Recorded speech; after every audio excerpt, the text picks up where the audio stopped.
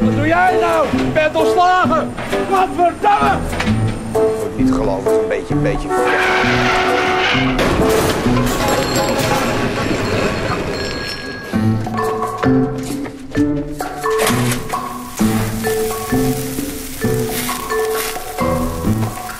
Uit Burgertje!